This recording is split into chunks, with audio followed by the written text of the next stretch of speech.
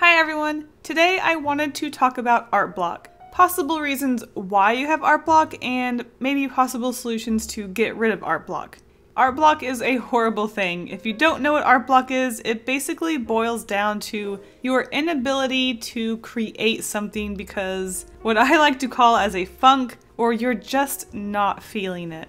So I wanted to talk about three possible reasons why you might be in a art block and three possible ways to fix it. So here we go. Whenever I get art block, there are three things that I usually notice about them. The first reason is I am just feeling mentally and physically drained. There have been times in my life where I work 40 to 60 hours a week, and when I come home, there is nothing I want to do less than draw. Even on my one day off, I do not want to draw. I do not want to do anything but just veg out and watch TV. I know a lot of artists will tell you that if you want to become successful that you just have to push through it. And while I do agree, I think it's very stressful to have to work these mentally draining jobs that you do not enjoy for 60 hours a week and then come home and push yourself and not have any relaxing moments at all. It's hard and you just have to push through it, but I think in the end you need to find what you want to focus on in life. If you have to push through those really hard, stressful moments, then I guess you just have to push through them and there's no way around it. But this is the cause of your art block.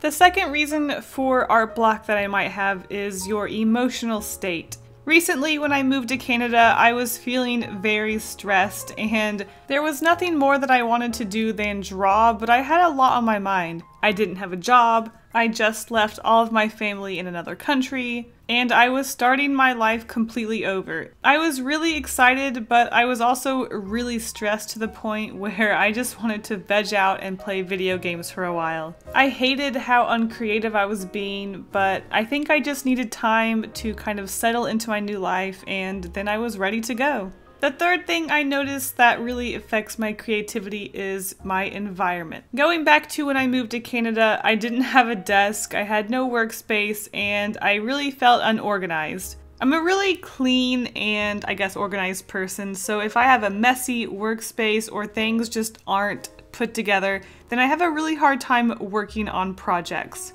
The messier my workspace is, the more cluttered my mind is, and I have a hard time focusing on something. So maybe look around your workspace, see if it needs to be straightened up.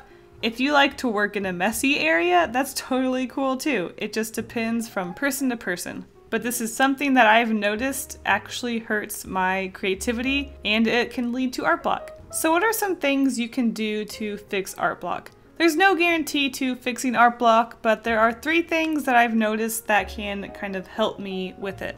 My main go-to when having art block is taking a break. This doesn't mean completely stop creating anything at all. Sometimes I like to take a break by going to another hobby like sewing, or sometimes I just like to play some video games for a couple of days. For the most part, I think you just need a break from drawing. Your creativity is drained and you don't have an unlimited supply of energy towards any one activity, I don't think, and I think it's really important to take breaks. I don't think there's anything wrong with needing to take a break from something that you can call your passion. A lot of artists have their own opinion about this, but I think everyone needs to stop being so critical and just do what's best for you.